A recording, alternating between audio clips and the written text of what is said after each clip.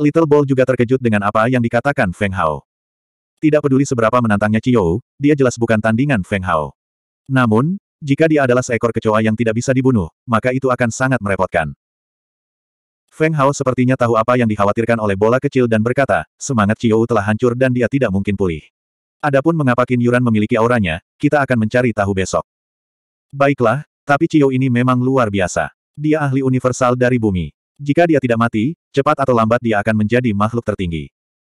Bola kecil menghela nafas. Ia juga merasakan sedikit simpati pada Qiou, tapi sayangnya, ia telah memilih jalan iblis, yang menyebabkan nasibnya hancur. Jika Qiou memilih untuk melindungi bumi, mungkin nasibnya akan sangat berbeda. Misalnya, Raja Iblis Banteng dan Raja Kera adalah contoh yang baik. Dia memang luar biasa. Feng Hao mengangguk, lalu menutup tirai jendela Perancis, berbaring di tempat tidur empuk, dan memasuki kondisi meditasi. Little Ball melirik Feng Hao, lalu pandangannya tertuju pada Little Black, yang terbaring tidak jauh, dan dia menghela nafas pelan. Luka Little Black di tanah leluhur keluarga Jin belum sepenuhnya pulih. Jika ada cukup spirit ki untuk diserap, kecepatan pemulihannya pasti akan meningkat. Namun, di kota yang ramai ini, suasana industri telah mengisolasi spirit ki dari kota. Hanya di pegunungan yang terkenal dan sungai-sungai besar yang bisa memiliki spirit ki yang kaya. Tidak bisa terus seperti ini. Aku akan meluangkan waktu untuk membawa Little Black ke pegunungan terkenal dan sungai-sungai besar. Bola kecil bergumam di dalam hatinya, ada jejak urgensi di matanya. Ia cukup tertarik dengan pegunungan terkenal dan sungai besar Huasia. Tidak hanya ramuannya yang banyak, tetapi juga banyak harta karun peninggalan zaman kuno Huasia yang membuatnya sangat heboh. Pada saat yang sama, beberapa maibah hitam berhenti di luar restoran di seberang hotel tempat Feng Hao menginap. Pengawal berbaju hitam membuka pintu, dan seorang pria parubaya berusia sekitar 50 tahun keluar dari setiap mobil. Salah satu dari mereka memiliki wajah agak persegi dan sangat kekar, dan ada sedikit kecerdasan di matanya. Orang lainnya tinggi dan kurus, dengan bibir tipis dan mata kecil. Penampilannya agak mirip dengan manajer restoran, Chen Bing. Jelas sekali, dia adalah ayah Chen Bing, yang juga dikenal sebagai wajah tersenyum Chen. Di sisi lain, pria parubaya dengan sikap luar biasa itu jelas adalah ayah Qin Yuran, pemilik restoran ini, Qin Tianxiao. Tian Xiao, apakah aku mengganggu istirahatmu dengan meneleponmu larut malam? Chen yang tersenyum berjalan ke sisi Tian Xiaoqin dan menepuk bahu mantan rekannya sebagai bentuk salam. Qin Tian Xiao kesal dengan perilaku Smiling Chen, tapi dia tidak menunjukkannya di wajahnya. Karena saudara Chen menelepon saya secara pribadi, bagaimana mungkin saya tidak memberinya muka? Mengenai spesifiknya, mari kita bicara di dalam. Pergi. Bagaimanapun, Qiangzi menginjak kepala anak saya, yang setara dengan kencing di kepala saya. Hari ini, saya harus melepaskan salah satu lengannya. Wajah tersenyum Chen mengikuti di belakang Qin Tian Xiao, tapi dia tidak lupa meninggalkan beberapa kata kasar. Tubuh Qin Tian Xiao gemetar tapi dia tidak berhenti. Dia memasuki restoran dengan Chen Xiaobei mengikuti di belakangnya. Di belakang mereka ada pengawal pribadi mereka. Masing-masing dari mereka sangat waspada. Jelas sekali bahwa mereka telah menjalani pelatihan khusus. Ketika Qin Tian Xiao dan wajah tersenyum Chen memasuki restoran, pandangan semua orang tertuju pada mereka. Ketua Qin. Ketua Chen. Staf restoran membungkuk dan ekspresinya sedikit berubah. Dia tidak menyangka bahwa dua pukulan besar ini akan benar-benar terjadi. Bagaimanapun, Ketua Qin tidak bergantung pada restoran ini untuk mencari nafkah. Alasan utamanya adalah dia punya terlalu banyak uang. Dia dengan santai berinvestasi di beberapa bisnis dan tidak terlalu mempedulikannya. Kalau tidak, mengapa anak dari orang yang dibencinya menjadi manajer restoran ini? Dia bertanggung jawab atas segalanya. Ini cukup untuk membuktikan bahwa restoran ini dapat diberikan kepada Qin Tianxiao. Ayah, kamu akhirnya sampai di sini. Chen Bing, yang sedang berlutut di tanah, melihat ayahnya dan Qin Tian Xiao tiba. Seolah sedang menggenggam sedotan, dia berkata dengan mata memerah, Paman Qin, Qiangzi menginjak kepalaku. Kali ini, jika aku tidak mematahkan kakinya, aku tidak akan mampu menelan amarah ini. Saat dia berbicara, dia ingin bangun. Siapa yang mengizinkanmu bangun? Tapi kemudian, kata-kata Qiangzi meledak di telinga Chen Bing seperti guntur. Kepala Chen Bing menggeleng, dan dia jatuh ke tanah lagi. Qiangzi, Apakah kamu sedang mencari kematian? Beraninya kamu menyentuh anakku. Tepat pada saat ini, Chen tersenyum merasa malu dan sangat marah. Tidak ada seorang pun yang sanggup menanggung putra mereka sendiri diintimidasi dan dipermalukan di depan mata mereka. K.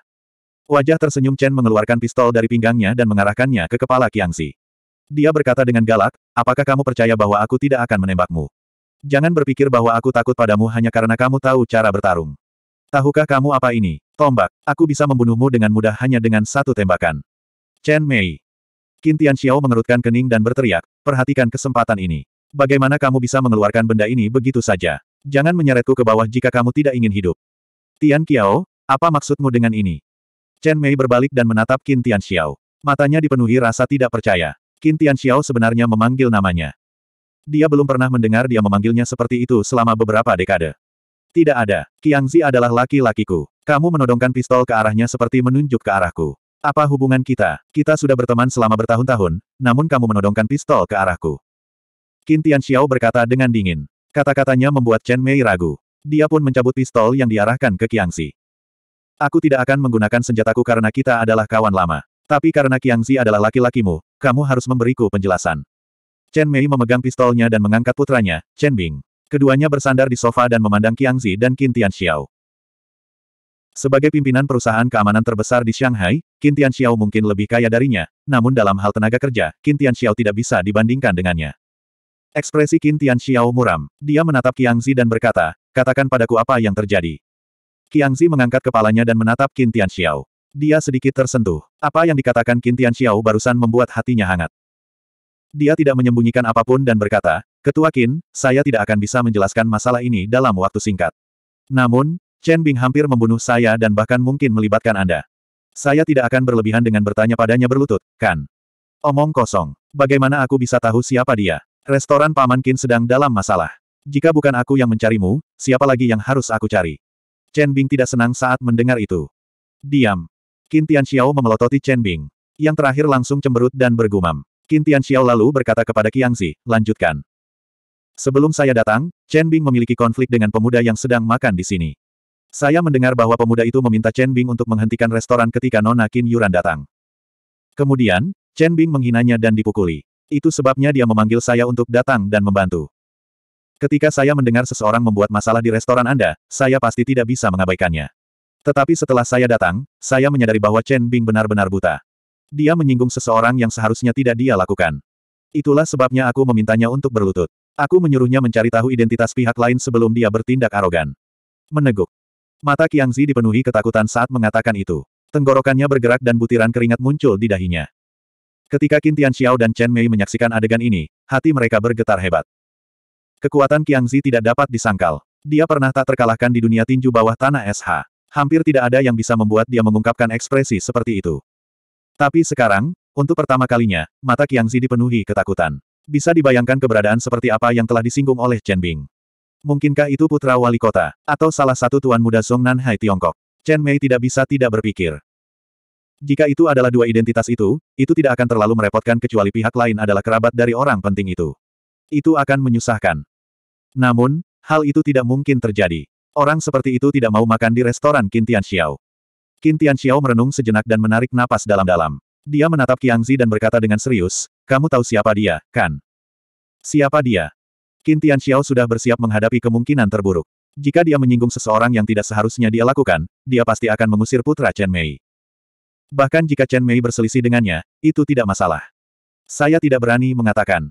Butir-butir keringat membasahi dahi Qiangxi. Dia sedang berjuang di dalam hatinya dan tubuhnya gemetar tak terkendali. Berbicara. Chen Mei juga merasakan tekanan besar dari Qiangxi. Dia takut Qiangxi akan menyebut nama yang akan membuatnya terengah-engah.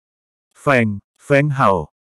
Qiangxi sepertinya telah menggunakan seluruh energi di tubuhnya untuk menyebut nama Feng Hao. Setelah mengatakannya, sepertinya dia menerima pelepasan yang luar biasa. Pakaiannya basah kuyup dan dia berbaring di sofa seperti orang yang kehilangan jiwanya.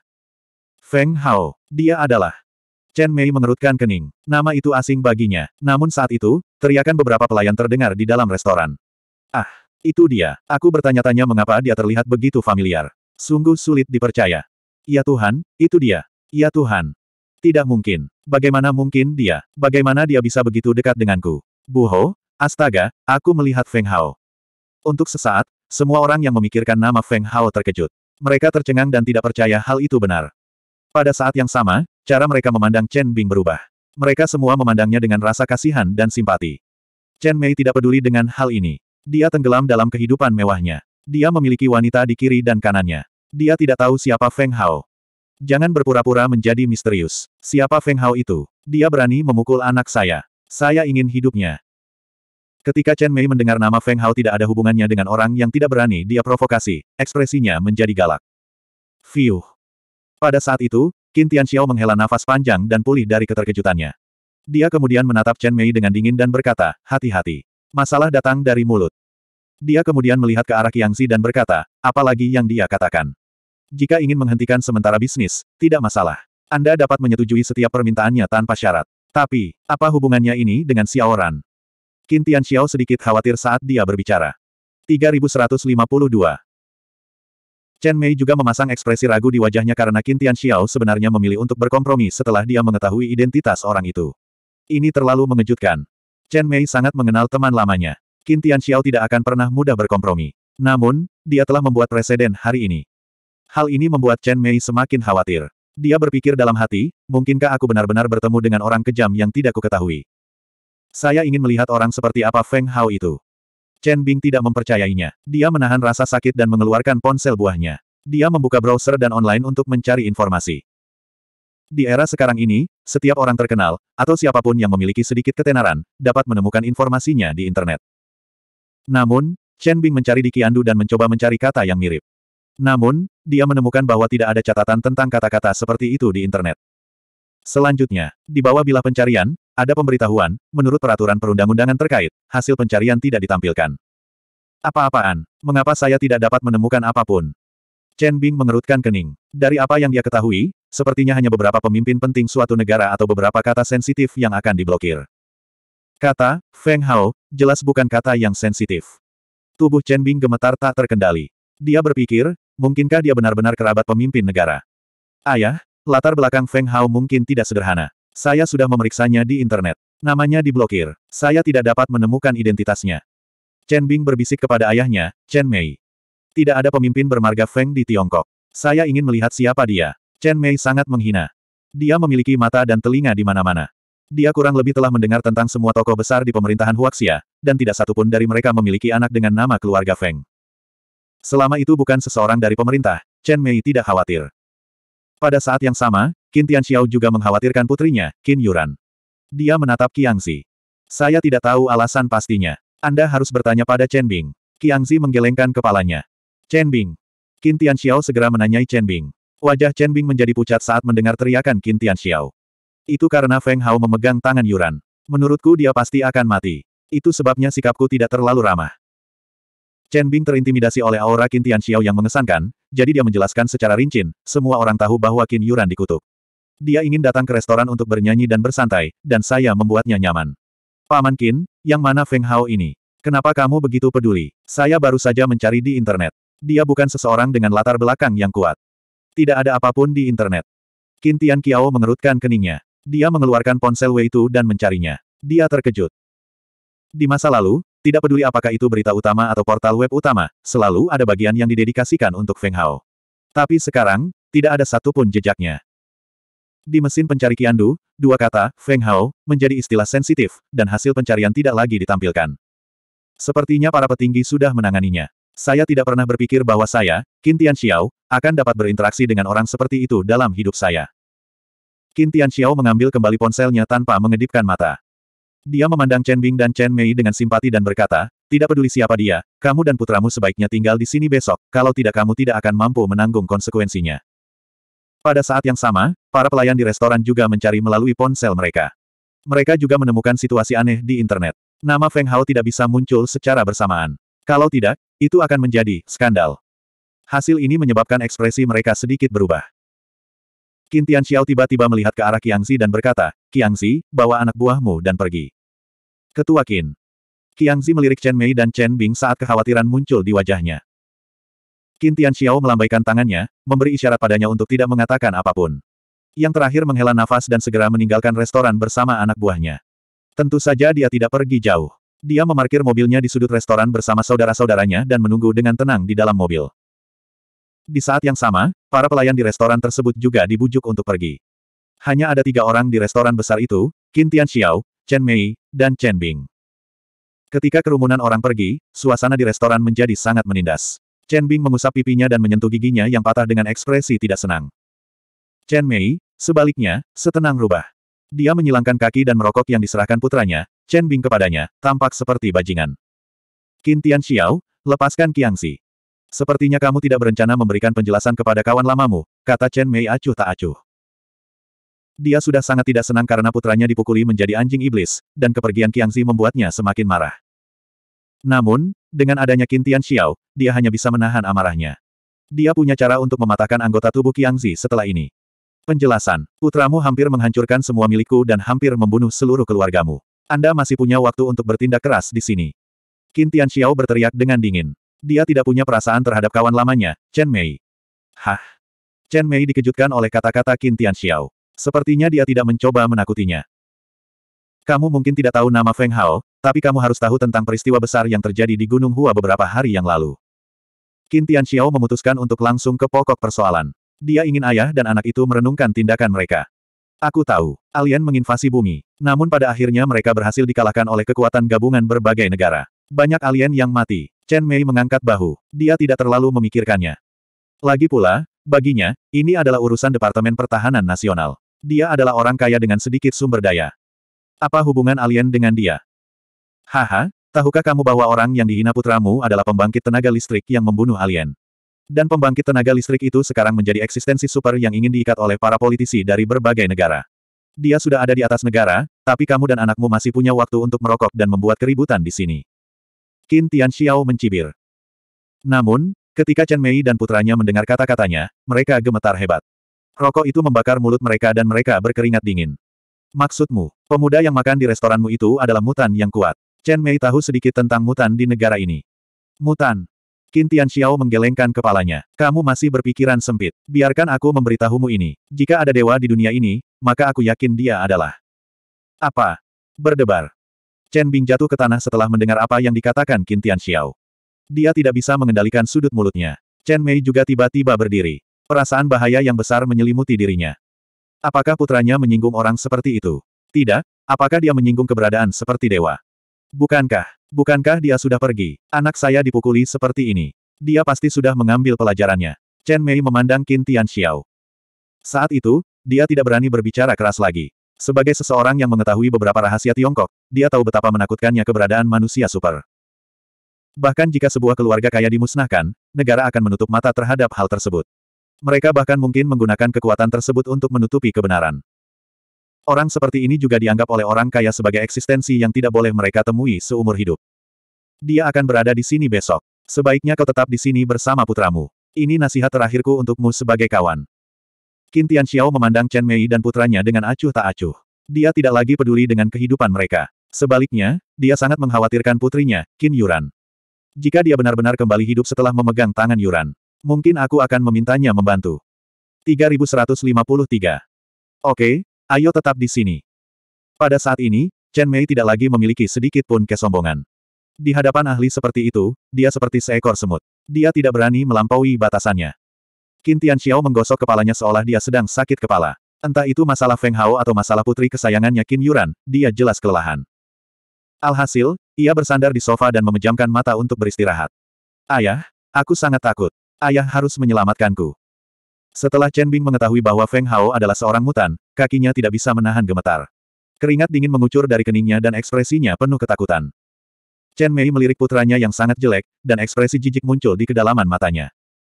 Namun, ketika dia ingat bahwa ini adalah putra satu-satunya, dia menarik napas dalam-dalam dan berkata, apakah kamu dapat bertahan atau tidak, itu tergantung pada kinerjamu. Kamu harus merendahkan diri. Saya mengerti, ayah.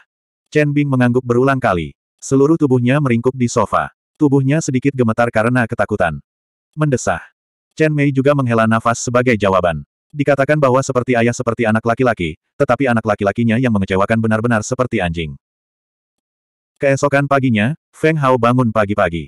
Setelah mandi, dia sekali lagi berdiri di depan jendela dari lantai ke langit-langit di kamarnya dan melihat restoran di seberangnya. Saat kesadaran ilahinya menyebar, pemandangan di restoran muncul di lautan kesadarannya. Total ada tiga orang, tapi Feng Hao tidak bisa melihat wajah mereka dengan jelas. Namun, dia sangat familiar dengan aura Chen Bing.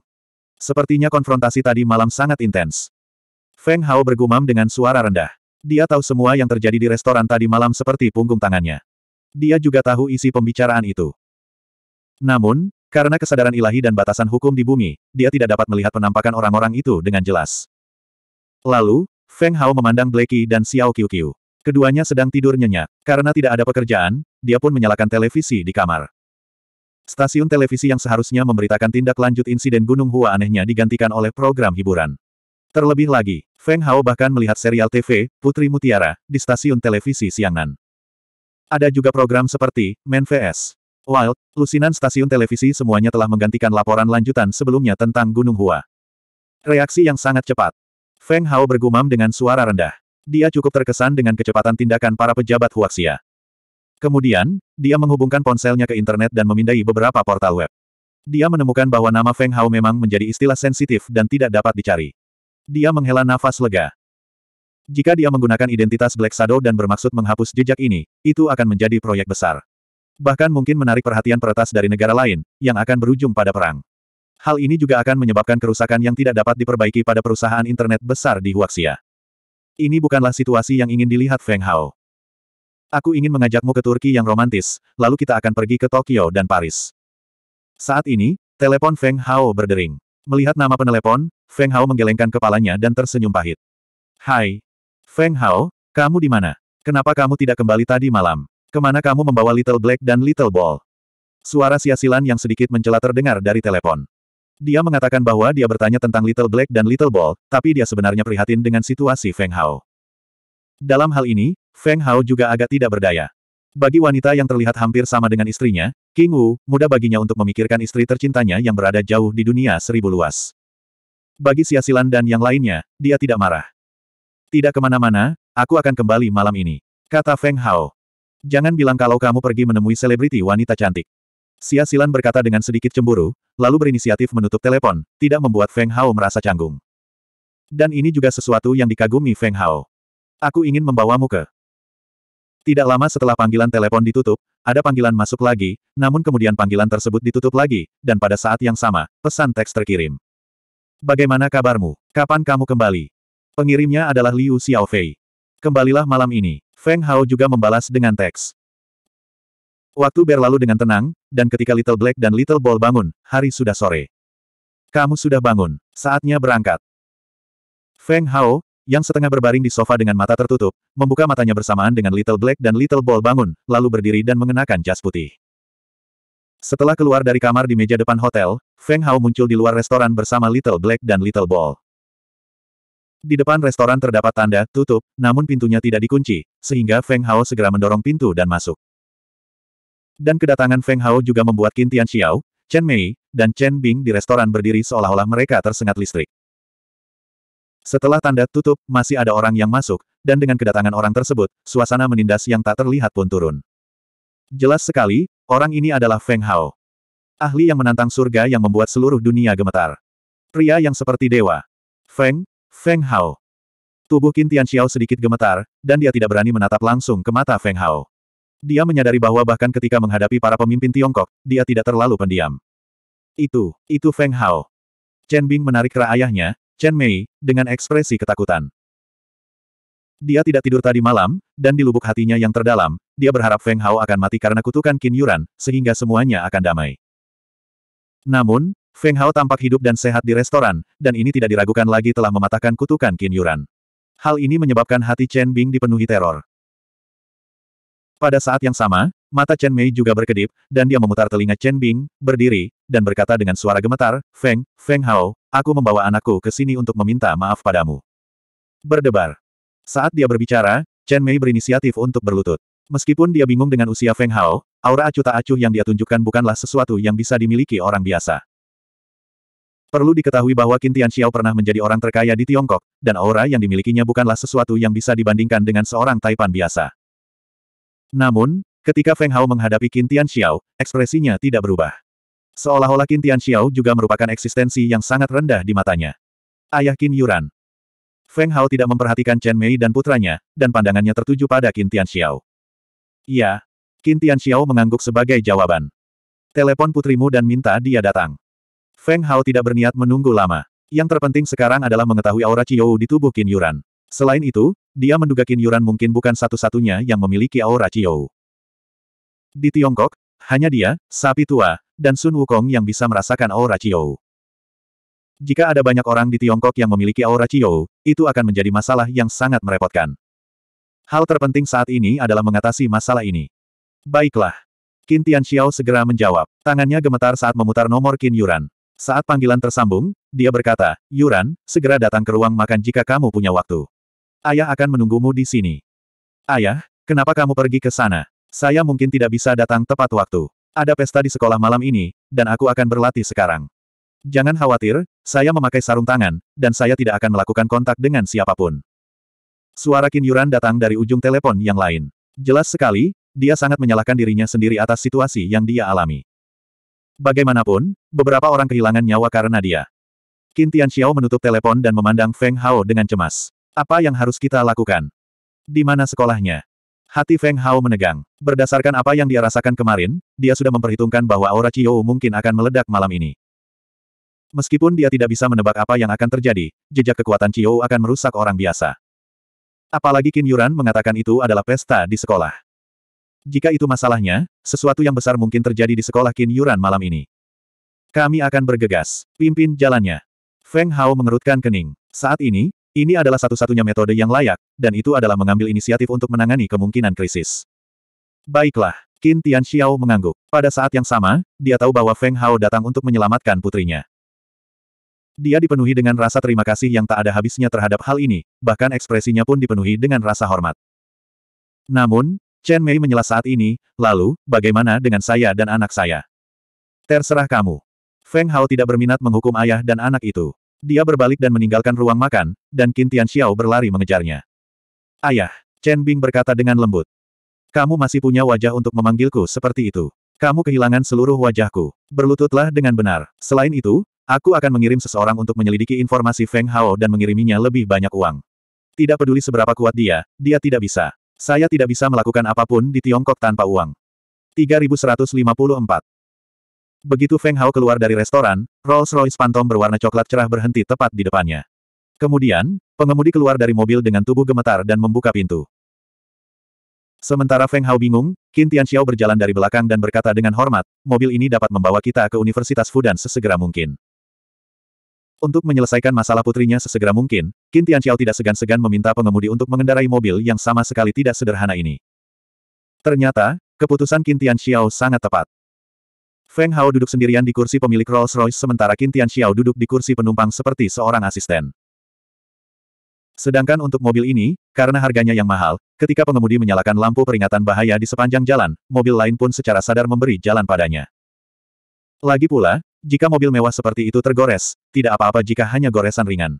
Namun jika parah, asuransi tidak mampu menanggung kerusakannya. Bahkan jika mereka menghabiskan seluruh uangnya, mereka mungkin tidak dapat mengisi lubang tersebut. Namun, bagaimanapun juga, ini adalah kota yang ramai. Ada persimpangan lampu lalu lintas setiap beberapa ratus meter. Kalaupun pengemudi lain memberi jalan, mobil hanya bisa menunggu dengan patuh. Qin Tianxiao memandang Feng Hao yang berada di belakang kursi mobil dan dua hewan peliharaannya yang lucu. Dia sedikit cemas. Dari ekspresi Feng Hao, situasi putrinya tidak optimis. Yang paling penting adalah sampai di sana secepat mungkin. Namun, di perempatan lampu lalu lintas, ia malah tak punya kemampuan menerobos lampu merah. Serahkan padaku. Feng Hao menggelengkan kepalanya. Dia mengeluarkan ponselnya dan beralih ke antar muka yang penuh kode. Kemudian, dia menggunakan identitas bayangan hitam untuk meretas ruang komando detasemen polisi lalu lintas kota Shanghai. Lalu, dia mengubah seluruh lampu lalu lintas di lokasinya menjadi hijau. Semua ini selesai dalam 10 detik. Aneh, masih ada waktu 50 detik lagi. Kenapa tiba-tiba berubah menjadi hijau? Sopir itu bergumam dan mengikuti arus lalu lintas. Begitu mobil Feng Hao lewat, lampu hijau berubah menjadi merah lagi. Adegan ini membuat pengemudi di belakangnya membunyikan klakson dan mengumpat dengan keras. Apa-apaan ini? Berbunyi, berbunyi. Suatu saat, karena lampu sinyal yang berantakan di perempatan, terdengar bunyi klakson terus-menerus. Pada saat yang sama, di ruang pengatur lalu lintas kota SH, penyebab tidak berfungsinya lampu sinyal di persimpangan tempat Feng Hao berada juga telah ditemukan. Seorang peretas yang sangat kuat meretas sistem kontrol lalu lintas. Tarik rekaman pengawasan. Peretas pasti berada di salah satu mobil di persimpangan. Segera beritahu polisi lalu lintas terdekat untuk bergegas dan menghentikannya. Kapten segera memberi perintah, dan pada saat yang sama, sebuah kendaraan mencurigakan muncul di layar. Selama mobil berada di persimpangan, lampu lalu lintas tidak akan berfungsi. Jelas sekali, orang yang meretas sistem sinyal mungkin ada di dalam mobil. Mobil ini adalah Rolls-Royce yang ditumpangi Feng Hao dan Qin Tianxiao. Pada saat yang sama, polisi lalu lintas yang bertugas di dekatnya juga mengemudikan mobil polisinya. Jumlahnya tidak kurang dari tujuh. Adegan ini sangat mirip dengan adegan dalam film polisi. Ketua Qin, sebuah mobil polisi memberi isyarat agar kita menepi. Pengemudi melirik ke kaca spion, telapak tangannya sedikit berkeringat. Jangan khawatir, lanjutkan mengemudi. Qin Tianxiao melirik Feng Hao. Yang terakhir sepertinya tidak peduli, jadi dia segera memerintahkan sopirnya untuk melanjutkan perjalanan ke Universitas Fudan. Aku tidak boleh impulsif. Sekarang aku telah memutuskan untuk menghilang dari pandangan orang, aku tidak akan menggunakan kekuatanku jika aku bisa. Indra ketuhanan Feng Hao sudah bisa merasakan aura Chiou di tubuh Qin Yuran, karena aura itu sudah mulai berubah. Kemudian, Feng Hao juga melihat mobil polisi di belakang mobil yang mengejar dengan panik. Dia sedikit mengernyit dan berkata dengan suara rendah, biarkan Zhao Yang keluar. Setelah menghubungi nomor Zhao Yang, Feng Hao langsung ke pokok permasalahan. Saya sekarang berada di dalam Rolls-Royce menuju Universitas Fudan, dan saya harus menghadapi masalah yang sulit. Anda harus tahu apa yang harus dilakukan. Mengerti, serahkan padaku. Suara Zhao Yang yang sedikit bersemangat terdengar dari ujung telepon yang lain. Setelah menutup telepon, Zhao Yang pun langsung menghubungi pimpinan detasemen polisi lalu lintas SH dan menjelaskan secara singkat masalah tersebut. Dan ketua regu yang sedang menyilangkan tangan di depan dada di layar monitor juga mendapat instruksi dari atasannya saat ini. Bagaimanapun caranya, antarkan mobil itu dengan selamat ke Universitas Fudan. Kawaloh dengan standar tertinggi. Di telepon, suara atasan hampir menderu. Jelas sekali bahwa dia menderita cukup banyak kejutan. Apa yang sedang terjadi? Mungkinkah yang duduk di dalam mobil itu adalah pemimpin Tiongkok? Atau Presiden M-Nation? Meski sang kapten curiga, dia harus menjalankan perintah atasannya. Dia segera mengeluarkan perintah baru. Pada saat yang sama, di jalan menuju Universitas Fudan, tujuh mobil polisi membunyikan alarm. Pengejaran awal berubah menjadi pengawalan. Barisannya rapi, seolah-olah presiden suatu negara sedang berkunjung. Dan pemandangan ini pun membuat orang yang lewat tercengang. Siapa sangka pertarungan antara polisi dan bandit tiba-tiba berubah menjadi pengawalan. Qin Tianxiao melihat semua ini, dan jantungnya juga berdebar kencang. Jelas sekali bahwa panggilan telepon Feng Hao barusan kemungkinan besar ditujukan kepada pejabat tinggi di Tiongkok. Jika tidak, keadaan tidak akan menjadi seperti ini. Dan ini juga membuat Qin Tianxiao merasa hormat pada Feng Hao dari lubuk hatinya. Jika dia adalah menantuku, mati dalam hidup ini akan sia-sia. Jauh di lubuk hati Qin Tianxiao, Pemikiran semacam ini muncul tanpa peringatan, tetapi segera, dia menekan pemikiran semacam ini. Ekspresinya juga sedikit canggung, tetapi ketika dia menemukan bahwa Feng Hao sepertinya tidak menyadari perubahan ekspresinya, dia juga diam-diam menghela nafas lega. Ketika tujuh mobil polisi dan beberapa mobil patroli muncul di pintu masuk Universitas Fudan, kepala sekolah yang semula sedang menyiram bunga di kantornya juga mendapat telepon dari dekan. Kepala sekolah, cepat, cepat, mungkin ada masalah besar yang datang ke sekolah. Beberapa mobil polisi sedang mengawal Rolls-Royce ke sekolah. Saya khawatir presiden suatu negara datang berkunjung. Apa? Kepala sekolah sangat terkejut dengan perkataan dekan sehingga dia menjatuhkan alat penyiram di tangannya. Dia tercengang. Tidak masuk akal. Kalau ada peluang besar, Kementerian Pendidikan juga akan mengirimkan saya rencana perjalanan dan memberitahu saya sebelumnya. Mengapa ada kunjungan sebesar itu? Bukankah ini terlalu disengaja? Kepala sekolah bingung, tetapi karena kunjungannya sangat besar, tidak peduli siapa orangnya, dia tidak boleh lalai sedikit pun. Dia segera berganti pakaian formal dan bergegas menuju gerbang sekolah bersama para pimpinan sekolah. Kamu tidak perlu masuk, aku akan masuk sendiri. Feng Hao keluar dari mobil langsung di gerbang sekolah. Qin Tianxiao awalnya ingin mengikuti, tetapi kata-kata Feng Hao membuatnya tidak bisa membangkang.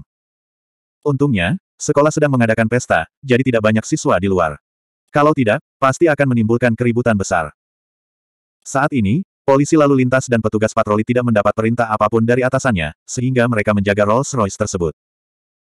Tidak lama setelah Feng Hao masuk sekolah, kepala sekolah juga keluar dari gerbang sekolah bersama dekan dan pimpinan lainnya. Mereka berjalan menuju Rolls-Royce dengan wajah penuh senyuman. Apa yang sedang terjadi? Qin Tianxiao segera mengerutkan kening. Setelah memikirkannya, dia juga memahami bahwa orang-orang dengan perut buncit ini jelas merupakan pemimpin universitas ini. Penampilannya saat ini seperti kunjungan dari orang penting. Itulah sebabnya pimpinan sekolah mendekatinya dengan ekspresi menjilat. Qin Tianxiao juga menggelengkan kepalanya sambil tersenyum pahit. Ia tidak memenuhi syarat untuk diterima begitu hangat oleh pimpinan Universitas Nasional ini. Di sisi lain, Feng Hao sepenuhnya memenuhi syarat. 3155 Saat Feng Hao memasuki kampus universitas, perasaan ilahi mengunci Qin Yuran, yang sedang menghubungi di belakang panggung di auditorium universitas. Adapun Feng Hao, dia berjalan menuju auditorium universitas. Siswa sudah memasuki auditorium satu demi satu. Beberapa anggota OSIS masih berdandan dan memegang spanduk. Merayakan kemenangan dalam pertempuran mempertahankan bumi. Berterima kasih kepada Feng Hao, berterima kasih kepada Ibu Pertiwi, berterima kasih kepada Universitas Fudan. Besok akan lebih baik lagi.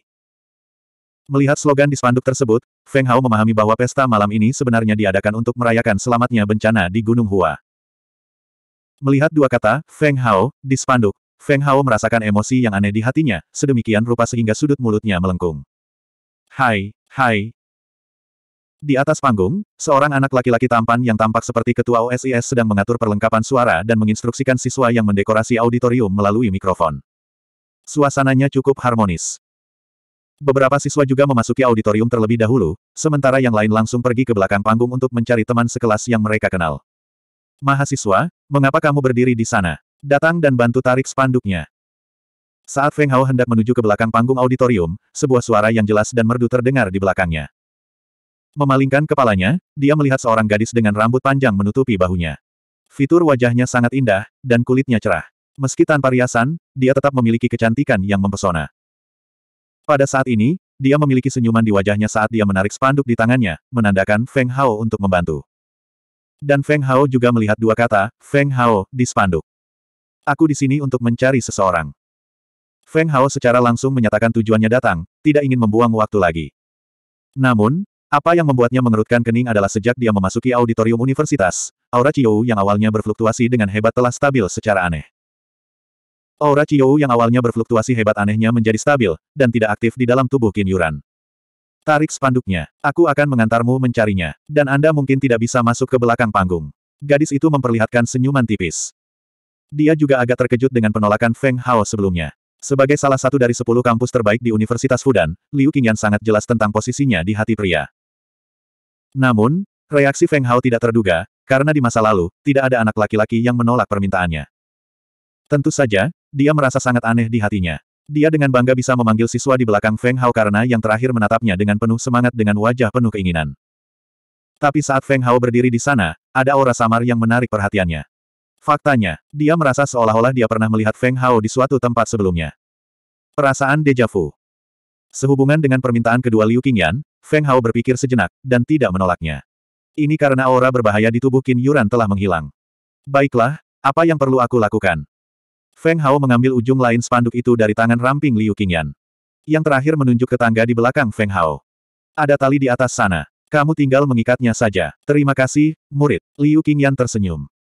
Saat dia berbicara, dia juga menaiki tangga berbentuk manusia di belakangnya. Pahanya yang lurus dan ramping diregangkan erat oleh celana jeansnya. Setelah menaiki tangga, bokongnya yang bulat sempurna dan gagah tampak memiliki elastisitas yang menakjubkan, membentuk lengkungan yang sangat memikat. Anak laki-laki yang berada di belakang Feng Hao mengalami mimisan. Pikirannya sudah dipenuhi dengan pikiran-pikiran cabul. Dengan wajah merah, dia lari dengan panik. Feng Hao melirik Liu Qingyan. Karena sia-silan, Liu Xiaofei dan yang lainnya sudah berada di sisinya, dia tidak terlalu memperhatikan sosok jahat Liu Qingyan. Setelah mengikat spanduk, dia melompat turun dari tangga. Liu Qingyan jelas belum selesai. Dia mengalami masalah. Setelah spanduk dibentangkan, ternyata tidak ringan. Dengan tubuhnya yang halus, menariknya ke atas sudah sangat berat. Apalagi menggantungnya. Aku akan melakukannya. Feng Hao tersenyum pahit. Segera setelah itu, dia juga menaiki tangga berbentuk manusia, praktis menempel pada Liu Qingyan. Segera, aroma sejernih anggrek menyerang lubang hidungnya, menyebabkan Feng Hao sedikit terkejut. Liu Qingyan juga terpengaruh oleh aura di tubuh Feng Hao. Pikirannya agak bingung dan wajahnya yang cantik memerah. Sial, siapa pria itu? Dia sebenarnya sangat dekat dengan Liu Qingyan. Pada saat ini, Anak laki-laki tampan yang awalnya mengatur perlengkapan audio juga memperhatikan Feng Hao dan Liu Qingyan, dan segera menjadi setengah mati karena marah. Hei, siswa di sana itu, silakan turun. Hati-hati jangan sampai terjatuh. Kata anak laki-laki tampan itu dengan wajah muram. Suara keras dari audio tersebut langsung meledak di telinga Liu Qingyan. Suara yang tiba-tiba itu membangunkan Liu Qingyan dari keadaan linglungnya. Ketakutan yang tiba-tiba menyebabkan dia tidak mampu menenangkan diri, menyebabkan tubuhnya bersandar ke belakang dan terjatuh. Ah! Liu Qingyan berteriak ketakutan. Perasaan tidak berbobot membuatnya sangat takut. Liu Qingyan. Adegan ini menyebabkan tubuh pemuda tampan itu bergetar hebat. Butir-butir keringat sudah muncul di keningnya. Dia tahu bahwa kata-katanya telah membuat Liu Qingyan takut. Apa yang kita lakukan? Apa yang kita lakukan? Tapi sementara anak laki-laki itu merasa cemas tanpa henti, orang lain yang menyaksikan pemandangan ini juga menutup mata mereka, tidak berani melihat langsung ke arahnya. Namun, pada saat ini, Feng Hao tidak ragu sedikit pun dan segera mengambil tindakan. Kecepatan yang dia tunjukkan mirip dengan sambaran petir. Ketika Liu Qingyan membuka matanya dan menemukan bahwa tidak ada rasa sakit yang luar biasa yang keluar dari tubuhnya, dia kembali sadar. Baru kemudian dia menyadari bahwa dia saat ini berada dalam pelukan Feng Hao. Anda. Liu Qingyan tidak punya waktu untuk memikirkan bagaimana Feng Hao menangkapnya. Seluruh wajahnya memerah karena malu. Melihat wajah Feng Hao yang juga tidak kalah dengan daging segar, dan memikirkan pahlawannya yang menyelamatkan kecantikannya, Liu Qingyan membenamkan seluruh kepalanya ke dalam pelukan Feng Hao. Liu Qingyan, kamu baik-baik saja. Di saat yang sama, para siswa yang sedang asyik berdandan, termasuk si pemuda tampan, pun buru-buru berlari menghampiri. Sambil terengah-engah, dia berkata, berikan Liu Qingyan kepadaku. Aku akan membawanya ke rumah sakit dan melihat apakah dia baik-baik saja. Saat dia berbicara, anak laki-laki itu ingin mengambil Liu Qingyan dari tangan Feng Hao. Namun, Feng Hao bahkan tidak meliriknya. Dia dengan lembut menurunkan Liu Qingyan, lalu melihat ke arah anak laki-laki itu dan berkata dengan suara rendah, dia baik-baik saja. Tidak perlu pergi ke rumah sakit. Tapi kamu, tidakkah kamu tahu bahwa tindakanmu barusan sangat berbahaya? Wajah anak laki-laki itu memerah. Segera setelah itu, ketika dia ingat bahwa tidak ada orang seperti Feng Hao di OSIS, dia menjadi marah karena malu. Kamu mahasiswa di departemen mana? Saya bukan mahasiswa departemen mana pun. Saya di sini untuk mencari seseorang, kata Feng Hao. Dengan kata lain, kamu bukan mahasiswa Universitas Fudan. Sebagai ketua OSIS, saya harus menginterogasi Anda dengan benar. Kualifikasi apa yang Anda miliki untuk memasuki auditorium? Siapa orang yang kamu cari? Jika bukan karena Anda, Liu Qingyan tidak akan menghadapi bahaya. Kata anak laki-laki tampan itu dengan agresif. Dia tidak hanya ingin menjauhkan diri darinya, dia bahkan menyerahkan tanggung jawab kepada Feng Hao. Li Jian, diamlah. Namun, Liu Qingyan berteriak, dia baru saja menyelamatkan saya. Jika bukan karena Anda membuat saya takut, saya tidak akan jatuh sama sekali. Saya akan memberitahu instruktur kelas tentang masalah ini dan membiarkan dia menanganinya. Aku ketua OSIS. Aku bertanggung jawab penuh atas pesta malam ini. Semua orang luar dilarang masuk. Ji kecil, panggil penjaga keamanan kemari. Li Jian berkata dengan acuh tak acuh. Jika Liu Qingyan melaporkannya, akan sangat merugikan karirnya di sekolah. Sikap Liu Qingyan khususnya membuatnya sangat tidak bahagia. Untuk bisa menjadi ketua OSIS, bagaimana dia bisa mencapai tahap ini tanpa latar belakang atau sarana apa pun? Tidak perlu memanggil penjaga keamanan. Li Jian, segera tulis surat refleksi. Kamu tidak perlu menjadi tuan rumah pesta malam ini. Tuan rumah akan digantikan oleh Liu Qingyan. Saat Antek Li Jian hendak pergi, beberapa orang berjalan mendekat. Ketika tatapan semua orang tertuju pada pemilik suara itu, tubuh mereka mulai bergetar hebat. Kulit Li Jian bahkan menjadi pucat. Liu Qingyan juga agak kaget. Kejutan muncul di matanya yang indah. Hanya Feng Hao yang menghela nafas ringan saat melihat orang-orang yang datang. Tampaknya tidak ada cara baginya untuk menangani beberapa masalah secara pribadi. 3156. Orang-orang yang berjalan ke arah mereka adalah pimpinan sekolah. Yang memimpin tentu saja adalah kepala universitas yang paling berwibawa, Su Seng. Di sampingnya adalah ayah Qin Yuran, Qin Tian Xiao, diikuti oleh dekan. Paman Su, aku. Li Jian ingin menjelaskan, tetapi ketika dia melihat sorot mata Su Seng, dia gemetar dan menundukkan kepalanya. Dia tidak mengerti mengapa Su Seng, yang pernah menjadi teman minum ayahnya, bersikap begitu dingin padanya. Itu terlalu menakutkan. Kakinya hampir menyerah sekarang. Kepala sekolah, saya, saya tidak punya pengalaman mengadakan pesta seperti ini.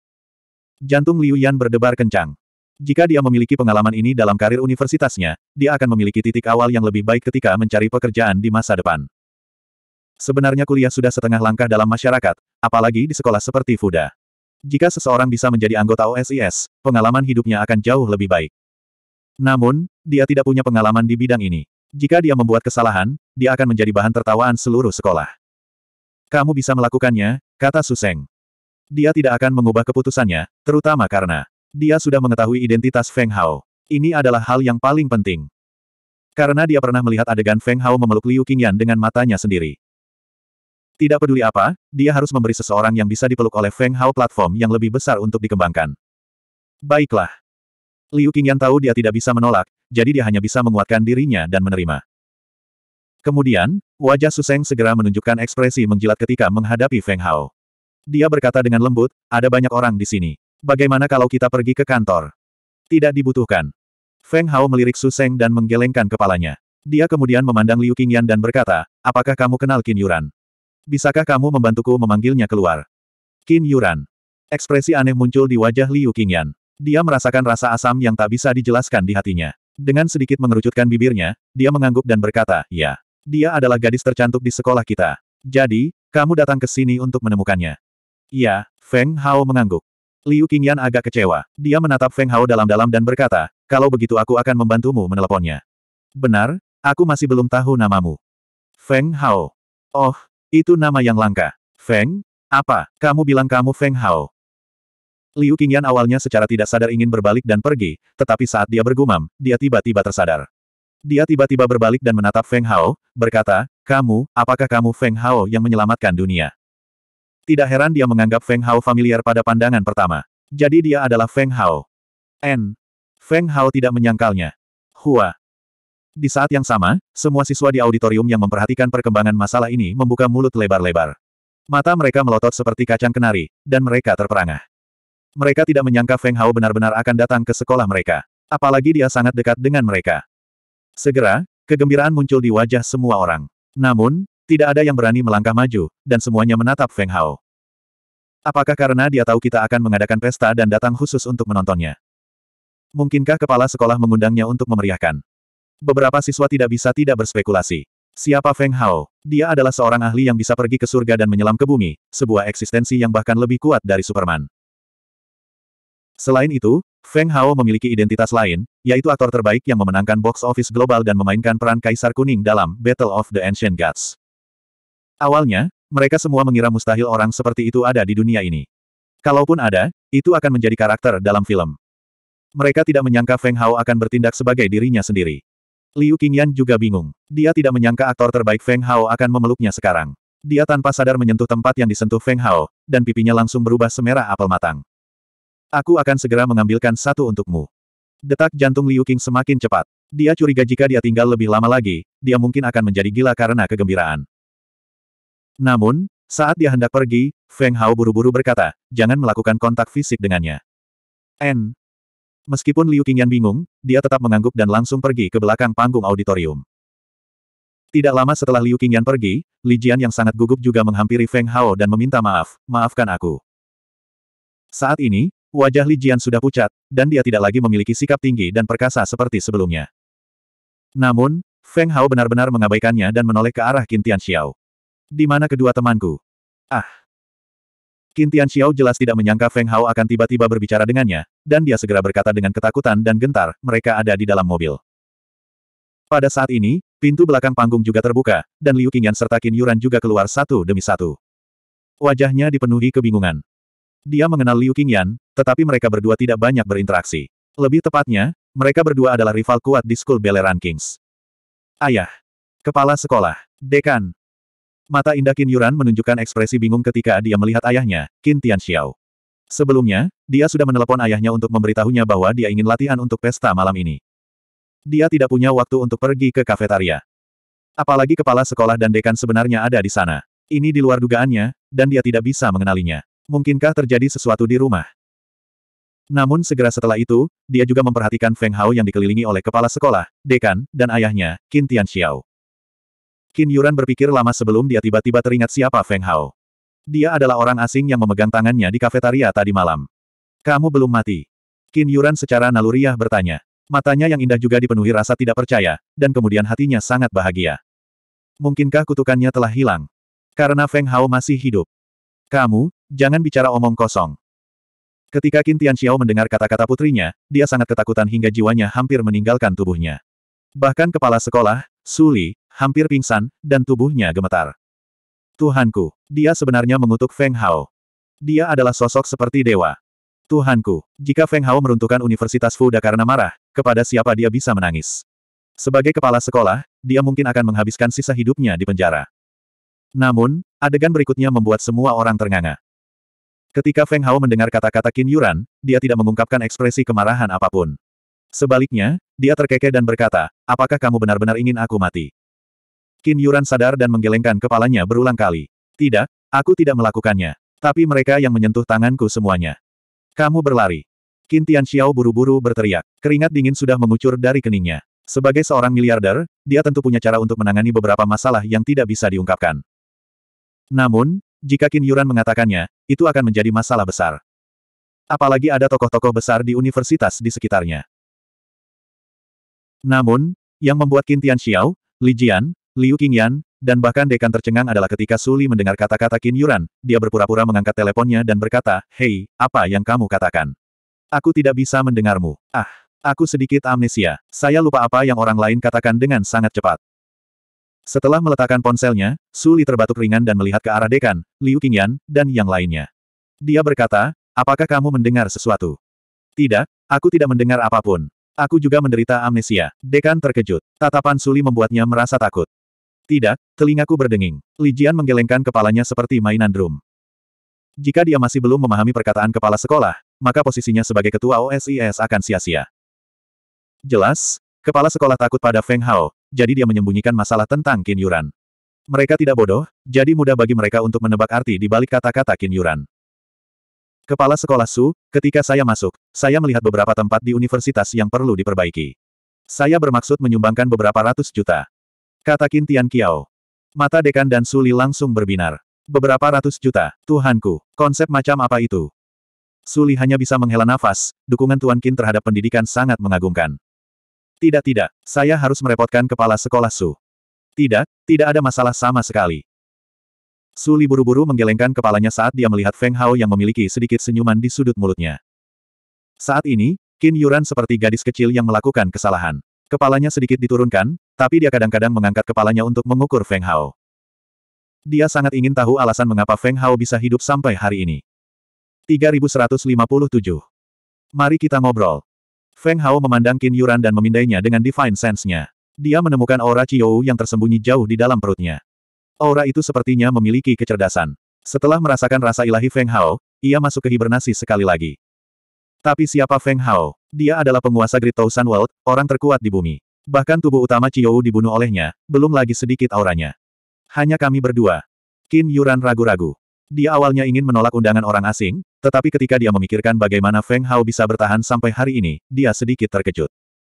Dia merasa bisa bertanya. Lil, Ran, ngobrol dengannya. Qin Tianxiao berkata dengan cemas di dalam hatinya. Dia tidak sabar menunggu putrinya menganggukkan kepalanya. Dengan identitas Feng Hao, sudah jarang dia mengambil inisiatif. Oke, di mana kita harus bicara? Di sini, Qin Yuran akhirnya mengangguk. Setelah menerima persetujuan Qin Yuran, Feng Hao menoleh untuk melihat kepala sekolah Suseng. Ketika yang terakhir melihat tatapan Feng Hao, dia langsung mengerti. Ayo pergi ke Taman Yan. Di sana lebih tenang, dan tidak banyak siswa di sana, saran Suseng. Oke, kalau begitu ayo pergi ke Taman Yan. Feng Hao mengangguk. Selama jumlah siswanya lebih sedikit, itu akan lebih baik. Dia tidak yakin apa yang akan terjadi jika dia menghilangkan aura Chiou. Aku yang akan memimpin. Qin Yuran yakin Feng Hao bukan dari Universitas Fudan, jadi dia tentu saja tidak akan akrab dengan Taman Yan. Segera setelah itu, Qin Yuran membawa Feng Hao keluar dari aula sekolah dan langsung pergi ke Taman Yan. Tepat pada saat mereka pergi, kepala sekolah Suseng menelan seteguk air liur, menyeka keringat di lehernya, dan membuat panggilan telepon. Suruh para siswa di Taman Yan segera pergi. Suruh Qin Yuran masuk bersamanya. Di seberang telepon adalah kepala Departemen Keamanan Sekolah. Dia segera melaksanakan perintah kepala sekolah. Feng Hao menyukai Qin Yuran. Hati Liu Yan Yan dipenuhi rasa cemburu. Dia tidak bisa menghilangkan sosok Feng Hao dalam pikirannya. Dia tidak bisa melupakan adegan Feng Hao menyelamatkannya. Rasa aman yang kuat hampir membuatnya tergila-gila. Liu Qingyan, kamu harus menjadi tuan rumah pesta malam ini. Aku akan menyerahkan pekerjaannya kepadamu. Li Jian berjalan menuju Liu Qingyan, ekspresi wajahnya agak tidak wajar. Setelah mengetahui identitas Feng Hao, dia benar-benar kehilangan kesabaran. Sekarang, punggungnya basah, dan dia tidak memiliki niat buruk terhadap Liu Qingyan. Oh, baiklah, kata Liu Qingyan dengan linglung. Ketua Qin, tentang donasi. Hehe. Ketika dia melihat Feng Hao pergi bersama Qin Yuran, Su Seng melihat ke arah Qin Tianxiao juga, dan dia sangat tersentuh dengan sumbangan yang disebutkan terakhir sebelumnya. Ayo pergi ke kantormu dan menandatangani memorandum itu. Qin Tianxiao mengangguk. Beberapa ratus juta tidak terbayangkan oleh orang biasa, tapi itu tidak berarti apa-apa bagi mantan orang terkaya di dunia. Pada saat yang sama, di Taman Yan yang tenang, semua orang diusir oleh Departemen Keamanan Sekolah. Namun, dua sosok berjalan ke Taman Yan di bawah tatapan tercengang para siswa yang diusir. Mengapa mereka diizinkan memasuki Taman Yan? Benar, aku akan melaporkanmu ke kepala sekolah. Hehe, silakan. Ini instruksi kepala sekolah. Protes para siswa sepenuhnya diabaikan oleh personel Departemen Keamanan, tetapi ketika mereka melihat Feng Hao, wajah mereka dipenuhi kegembiraan. Di antara mereka, ada beberapa yang pernah melihat Feng Hao dikawal oleh mobil polisi. Apalagi ia juga pernah mengendarai mobil mewah seperti Rolls-Royce. Tidak diragukan lagi, ini adalah sebuah pencapaian besar. Feng Hao dan Qin Yuran memasuki Taman Yan dan duduk di bangku panjang. Kemarin kamu bilang ingin duduk dan ngobrol denganku. Apa yang ingin kamu bicarakan? Apakah kita saling kenal di masa lalu? Qin Yuran bertanya. Matanya yang indah dipenuhi rasa ingin tahu saat dia melihat Feng Hao. Tampan, sungguh tampan. Dia jauh lebih tampan daripada beberapa orang segar di televisi. Hem.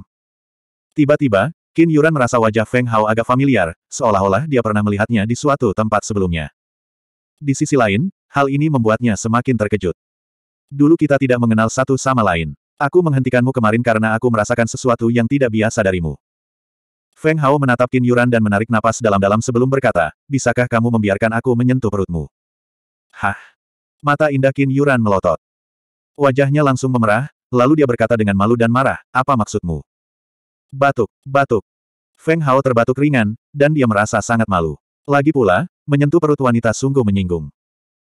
Namun jika dia ingin menghilangkan aura Qiu di dalam tubuh Qin Yuran, maka dia harus menggunakan cara ini juga.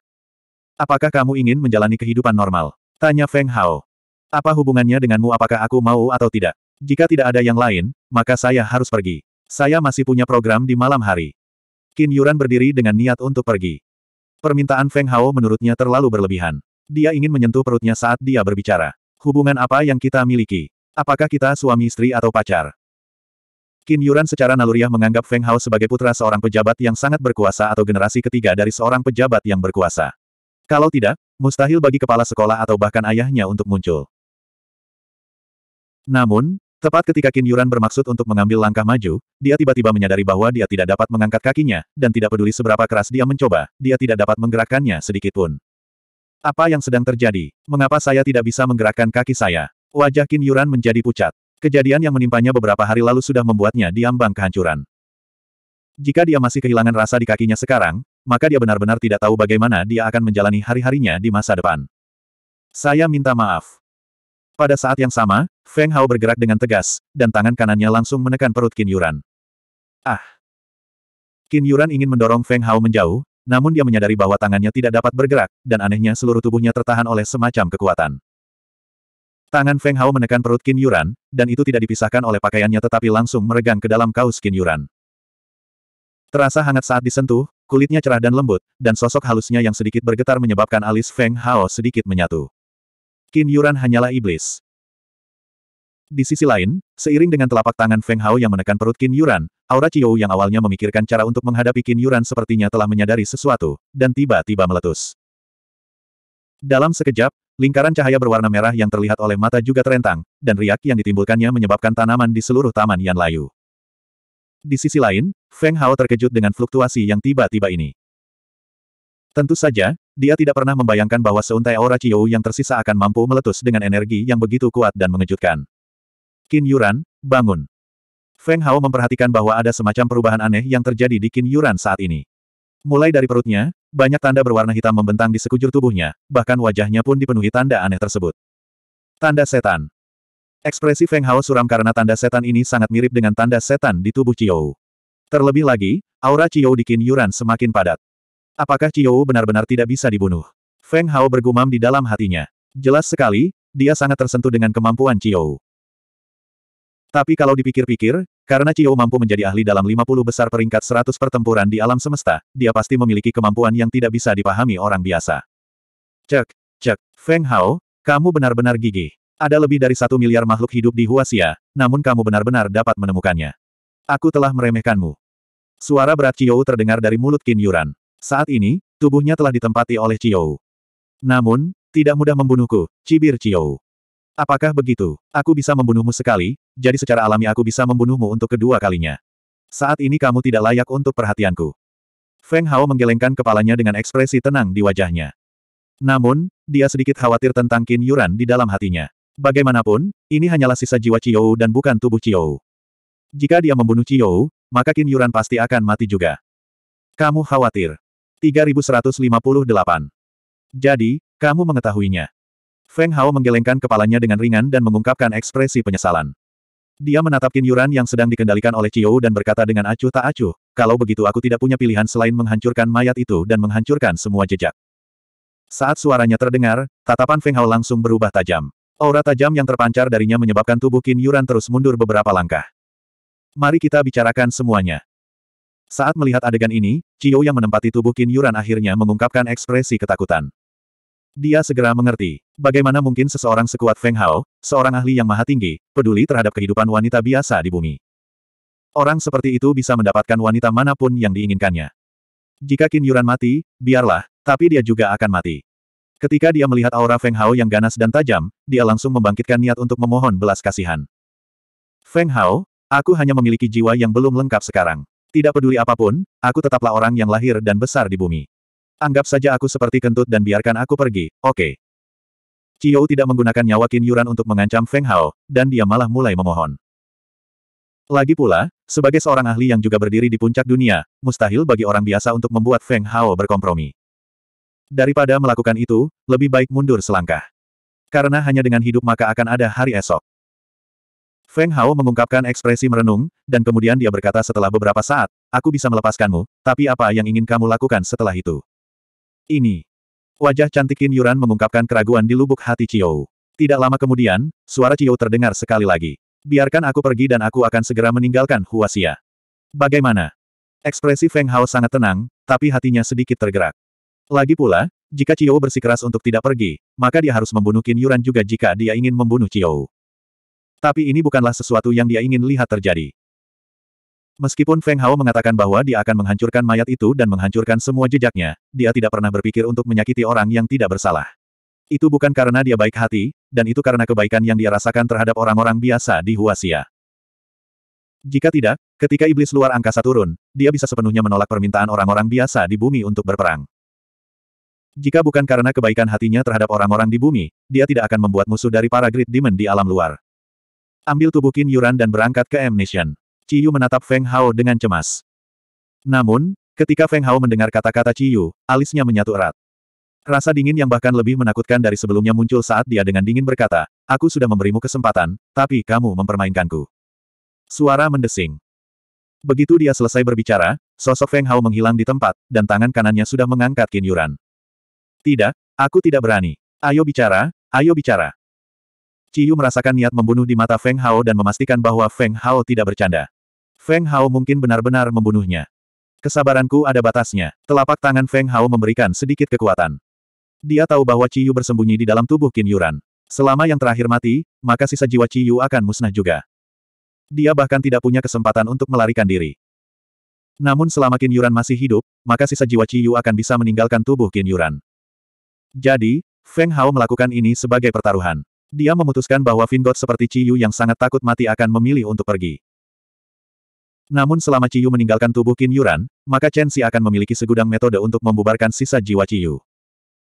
Penampilan Ciyu yang berjuang muncul di wajah Qin Yuran, dan Ciyu akhirnya berkompromi ketika kekuatan Feng Hao meningkat sekali lagi. Dia mengertakkan gigi dan berkata, Baiklah, aku akan meninggalkan tubuhnya, dan sisa jiwaku akan menuju ke negara M. Aku tidak akan pernah memasuki Tiongkok lagi.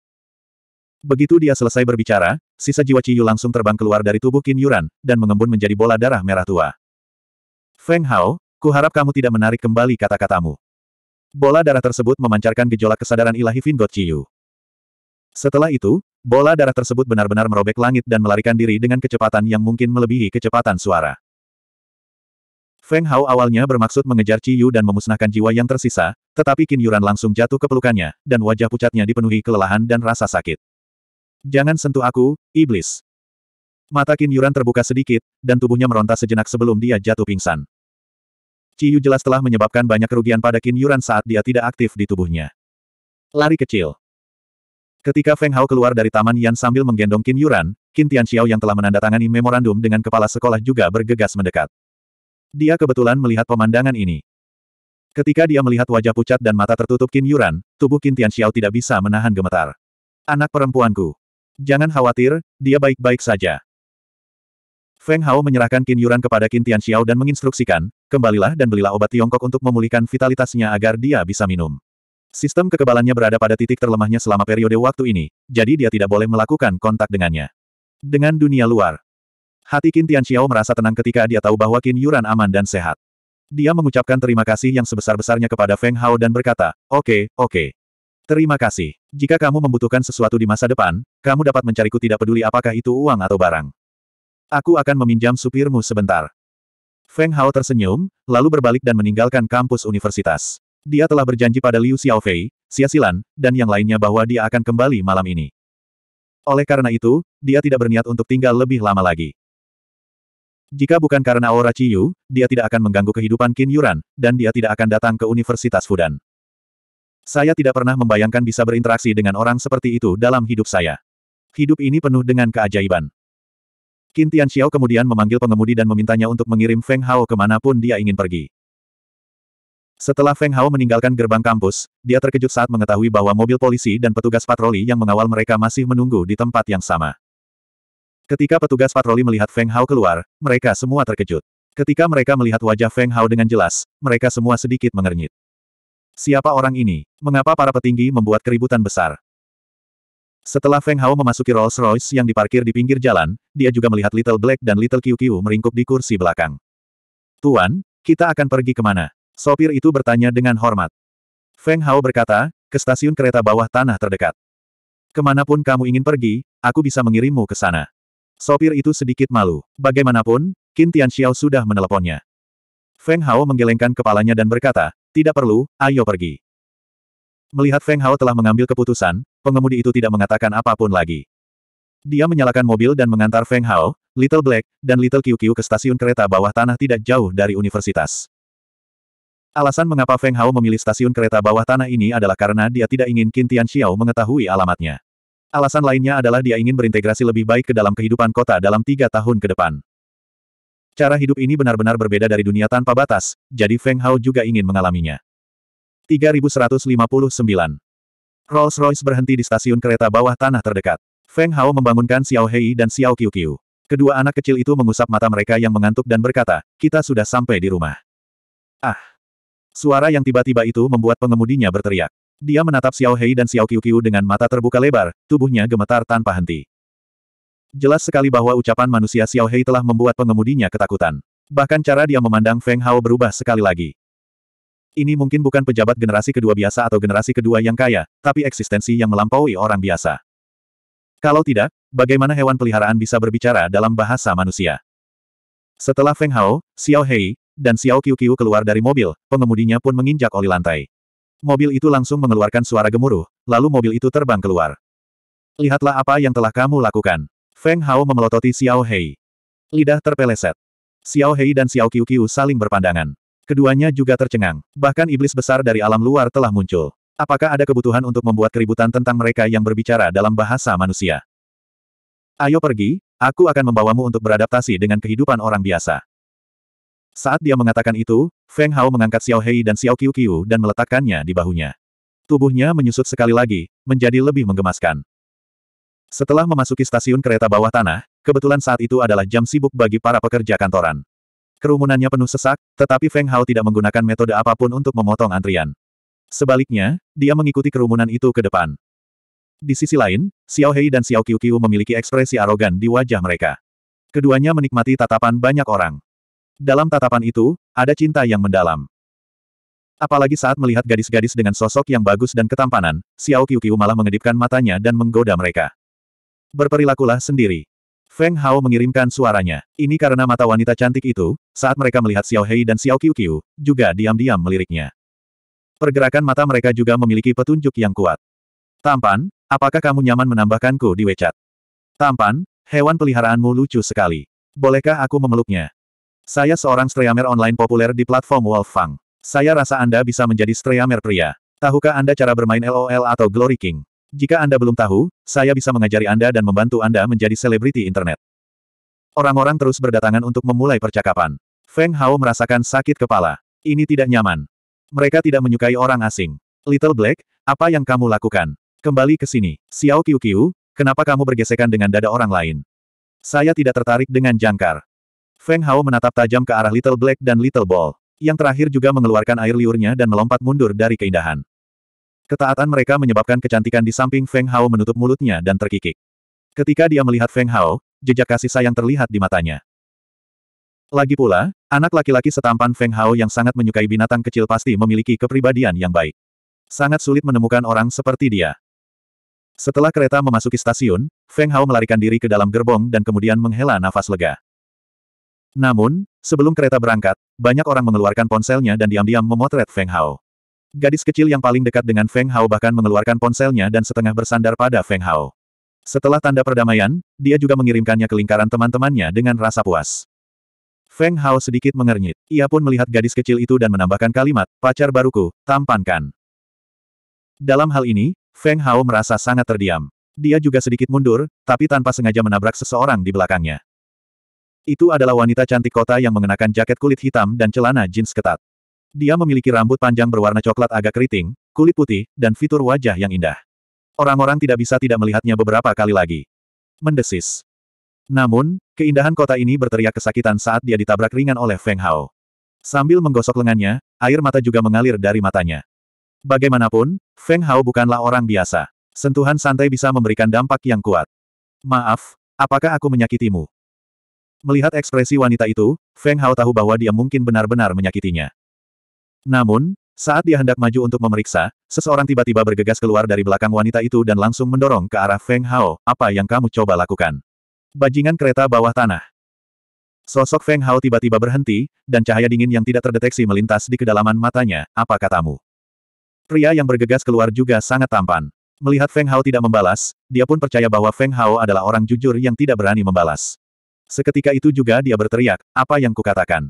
Aku bilang kamu bajingan. Di depan umum, kamu sebenarnya dilecehkan secara seksual. Pa. Sebelum pria itu selesai berbicara, Feng Hao menamparnya, dan tubuh pria itu langsung terlempar sejauh 7 hingga 8 meter. Hua. Adegan ini pun menimbulkan keributan di dalam gerbong. Pria yang dikirim terbang oleh Feng Hao memuntahkan seteguk besar darah, dan empat atau lima giginya juga tanggal. Seluruh mulutnya bengkok karena tamparan itu, dan dia tampak sangat sedih dan tak tertahankan. Kamu berani memukul seseorang. Ini adalah masyarakat yang diatur oleh hukum. Apakah masih ada hukum sialan? Kata orang yang diutus terbang dengan mulut penuh lubang. Yang aneh adalah meskipun dia dikirim terbang oleh Feng Hao, dia tidak pingsan.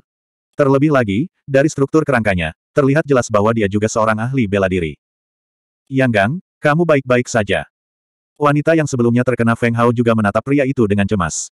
Ketika dia melihat darah di tanah, wanita itu juga berkata dengan suara rendah, mengapa kamu seperti ini? Anda bahkan berani memukul seseorang, saya akan memanggil polisi sekarang. Saat dia berbicara, wanita itu juga mengeluarkan ponselnya dan benar-benar menelepon polisi. Semakin banyak orang berkumpul untuk menonton. Feng Hao, ini adalah kehidupan orang biasa. Bagaimana? Menarik bukan? Bola kecil mau tidak mau mengirimkan pesan, namun nadanya penuh dengan geli. Mereka tidak terlalu memikirkan masalah sekecil itu. Berdasarkan status dan kekuatan Feng Hao, bahkan jika dia menghancurkan seluruh keluarga Yanggang, pihak berwenang Tiongkok bahkan tidak akan membiarkan kentut keluar. Ini adalah pencegahan kekuatan. Apakah kamu tidak akan bertanya kepadanya mengapa aku memukulnya? Aku sudah berbelas kasihan dengan memukul orang yang melontarkan kotoran di depanku. Feng Hao dengan acuh tak acuh menatap pria itu, niat membunuh di matanya ditekan secara paksa. Bagaimanapun, ini adalah tempat umum. Namun, rasa dingin yang secara tidak sengaja keluar dari mata Feng Hao menyebabkan tubuh pria itu menggigil. Kemudian, pria itu mengepalkan tangannya dan mengeluarkan ponselnya. Dengan kebencian yang tak ada habisnya, dia diam-diam mengirimkan pesan. Ketika dia menerima balasan, sedikit kegembiraan muncul di wajahnya. Yi, aku baik-baik saja. Jika dia bisa meninggalkan stasiun hidup-hidup, aku, Yang Gang, akan mengubah nama keluargaku menjadi miliknya. Yang Gang dengan dingin menatap Feng Hao. Jangan seperti ini, Hei, dia sebenarnya tidak melecehkanku, dia hanya tidak sengaja menyentuhku. Dia mungkin seperti kamu, terlatih dalam ilmu bela diri, makanya itu sangat menyakitkan. Wajah wanita itu menunjukkan ekspresi kasihan. Dia tahu betul tentang keluarga Yanggang. Itu adalah keluarga seni bela diri yang cukup bergengsi di Shanghai. Ada juga banyak orang di keluarga yang kini menjadi pengawal pribadi para taipan papan atas di Shanghai. Koneksi mereka sangat luas, dan mudah bagi mereka untuk berurusan dengan seseorang. Oleh karena itu, dia sama sekali tidak meragukan perkataan Yang Gang. Menanggapi ancaman Yang Gang, Feng Hao tidak bisa menahan tawa, tetapi kemudian matanya menjadi dingin ketika dia berkata, ubah nama keluargamu menjadi namaku. Apakah kamu layak? Tunggu saja, tunggu saja, aku akan membunuhmu nanti. 3160 Ketika kereta berhenti di stasiun tertentu, pintu terbuka, dan sekelompok orang berseragam polisi bergegas masuk sambil melihat sekeliling. Siapa yang menelepon polisi? Seorang petugas polisi paruh baya bertanya. Selanjutnya, tatapan semua penumpang di gerbong tertuju pada wanita bernama Yiyi satu demi satu. Saat petugas polisi paruh baya itu memandang ke arah Yiyi, dia juga melihat mulut Yang Gang yang bengkok dengan beberapa gigi patah. Sudut mulutnya bergerak-gerak. Ini terlalu tragis.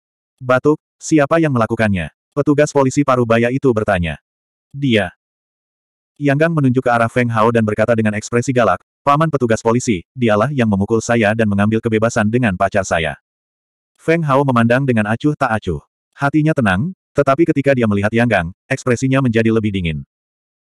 Meski gajah tidak suka berkomunikasi dengan semut, bukan berarti ia tidak akan menginjak semut hingga mati secara tidak sengaja. Yang Gang, omong kosong apa yang kamu ucapkan? Siapa pacarmu? Wanita itu memelototi Yang Gang dan menghentakkan kakinya dengan cemas. Dia tidak menyukai Yang Gang, tetapi dia telah mengejarnya sejak lama dan dia tidak bisa melepaskannya apa pun yang terjadi. Keluarga Yang Gang juga sangat berpengaruh di Shanghai. Dia tidak mampu menyinggung orang seperti itu, tapi dia juga tidak bisa menghindarinya. Kalian bertiga, ikut kami. Petugas polisi Parubaya itu melambaikan tangannya dan beberapa petugas polisi maju untuk membawa mereka pergi. Adapun target laporannya, Feng Hao, mereka awalnya berencana untuk memborgolnya. Namun, sorot mata Feng Hao membuat kedua petugas polisi itu sangat ketakutan sehingga mereka tidak berani mengambil tindakan. Bagaimanapun, kemunculan Yang Gang telah meninggalkan ketakutan yang masih melekat di hati mereka. Di ruang tugas polisi kantor, Feng Hao, Yang Gang, dan Yi untuk sementara dibawa ke sini untuk pernyataan rincin. Apakah kamu membutuhkan aku untuk mengirimmu ke rumah sakit? Yang Gang memuntahkan darah dari waktu ke waktu, menyebabkan petugas polisi muda itu merasa kasihan padanya. Segera setelah itu, cara dia memandang Feng Hao sedikit berubah. Namun, setelah itu, matanya tiba-tiba bersinar dan tubuhnya mulai bergetar. Xiao Su, ada apa? Adegan ini menyebabkan rekan di sebelah polisi muda itu mengungkapkan ekspresi khawatir. Sekarang karena ada lebih banyak hal yang harus dilakukan, begadang adalah hal biasa. Beberapa waktu lalu, seorang rekannya meninggal mendadak di garis depan. Dia khawatir hal seperti ini akan terjadi pada Su kecil. Saudaraku, siapa nama orang itu? Su kecil bertanya. Yang Gang. Tidak, yang satunya, yang terlihat sangat tampan. Oh, coba kulihat. Polisi di samping Little Su melihat tanda tangan Feng Hao. Itu adalah font artistik. Setelah melihatnya lama sekali, dia berkata dengan ragu, saya pikir itu namanya, angin, si, Feng. Hao, ya, benar, itu Feng Hao. Tapi kenapa nama ini terdengar begitu familiar? Pak, Ketika Xiao Su mendengar ini, dia melompat dari tempat duduknya dan menamparkan rekannya di sebelahnya. Dia menatap Feng Hao dengan penuh semangat. Dong, dong dong. Namun, pada saat itu, seseorang mengetuk pintu ruang tugas. Kemudian, polisi parubaya yang muncul di kereta tadi masuk bersama seorang pria muda berjas. Maafkan aku, aku tidak menyangka kamu berasal dari keluarga yang. Temanmu memberitahuku tentang hal itu. Jangan khawatir, kami polisi pasti akan memberikan penjelasan yang memuaskan. Begitu polisi parubaya itu masuk, dia meminta maaf kepada Yang Gang. Kapten Chen. Xiao Su menelan ludahnya. Dia ingin memberitahu polisi parubaya itu tentang identitas Feng Hao, tetapi polisi itu memelototinya dan berkata, tunggu apa lagi. Anak ini mencoba mem seorang wanita di depan umum, memukuli seseorang sampai mati tanpa alasan, dan melumpuhkannya. Serahkan mereka ke otoritas kehakiman. Hem.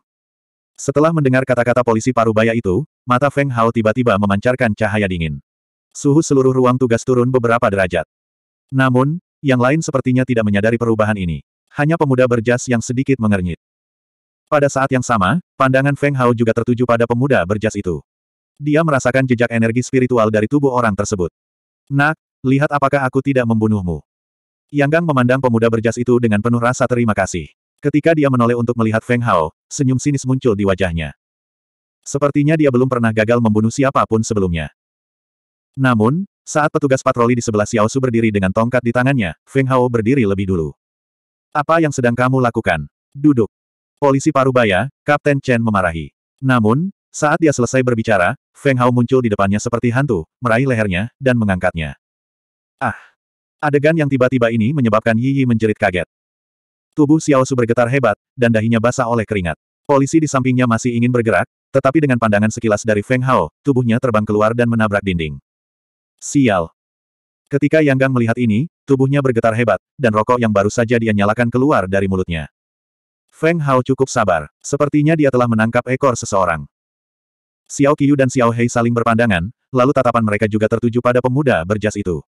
Sebagai dewa binatang, Xiao Qiu juga tahu siapa pemuda berjas itu. Dia adalah seorang kultivator.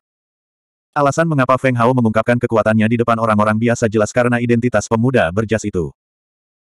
Karena mereka berdua adalah kultivator, maka dia akan menggunakan kekuatannya yang luar biasa untuk menyelesaikan masalah ini. Kurang ajar. Beraninya kamu bertindak kasar di depan tuan muda ini. Pemuda berjas itu sedikit terkejut. Dia jelas terkejut dengan adegan Feng Hao mengirim polisi itu terbang dengan tatapan tajam. Namun, sebagai tuan muda jenius dari keluarga kultivator, dia benar-benar tidak peduli dengan kultivator lain yang seumuran. Saat dia berbicara, pemuda berjas itu juga mengambil tindakan tegas. Dia menepuk telapak tangannya ke arah Feng Hao, dan fluktuasi energi spiritual yang kuat menyebabkan udara sedikit terdistorsi. Enyahlah. Namun, Feng Hao bahkan tidak melihat pemuda berjas itu. Dia mengayunkan lengan kilin kanannya, dan dengan suara retakan, tubuh kilin langsung terlempar. Aduh! Pemuda berjas itu menabrak dinding ruang tugas, dan kepalanya membentur toilet di kamar mandi. Di saat yang sama, lengannya menunjukkan lengkungan yang aneh, jelas lumpuh. Mendesis. Adegan ini menyebabkan Yi menghirup udara dingin. Di saat yang sama, dia juga sangat terkejut. Apakah ini masih kekuatan manusia? Hehehe. Di sampingnya, gigi Yanggang bergemeletuk. Dia terkejut dengan kekuatan yang ditunjukkan oleh Feng Hao, dan pikirannya sudah kacau. Bahkan seorang kultivator yang tinggi dan perkasa pun dikirim terbang oleh orang ini. Siapa dia? Sebagai anggota polisi Huaxia, Anda membuat pernyataan yang tidak bertanggung jawab dan secara paksa menghukum seseorang. Apakah Anda layak atas seragam polisi yang Anda kenakan, dan apakah Anda layak atas sumpah yang pernah Anda ucapkan? Feng Hao menatap dingin ke arah petugas polisi paruh baya itu. Saya, Wajah petugas polisi parubaya itu sangat pucat, dan tubuhnya sedikit gemetar. Kata-kata Feng Hao seperti pedang tajam, menembus jantungnya. Tamparan. Feng Hao dengan santai melemparkan petugas polisi parubaya itu ke samping, dan berkata, mulai hari ini dan seterusnya, saya tidak ingin melihat keberadaan Anda di kepolisian. Kamu, siapa kamu? Petugas polisi parubaya itu menelan ludahnya, dan memandang Feng Hao. Dia, dia adalah Feng Hao. Pada saat ini, Xiao Su, yang telah lama menahan diri, akhirnya mengungkapkan identitas Feng Hao. Pada saat yang sama, dia seperti balon kempes, dan dia merosot lemah di kursi. Memanggil nama Feng Hao sepertinya telah menghabiskan seluruh kekuatan yang dia miliki dalam hidupnya. Feng Hao, Feng Hao. Petugas polisi parubaya itu tidak memikirkannya pada awalnya, tetapi ketika dia melihat pemuda berjas dengan kepala di toilet, dia tiba-tiba teringat pada orang itu. Pada saat itu, petugas polisi parubaya itu benar-benar berkecil hati, dan dia langsung berlutut di depan Feng Hao. Maaf, Aku salah. Aku pantas mati, aku pantas mati. Saat dia berbicara, petugas polisi parubaya itu menamparkan dirinya sendiri berulang kali, dan tindakannya sangat kejam. Adegan ini juga menyebabkan Yanggang berdiri dengan gemetar, lalu dengan, wah, dia berlutut di tanah, dan ingus mengalir deras dari hidungnya. Aku juga pantas mati. Tamparan, tamparan.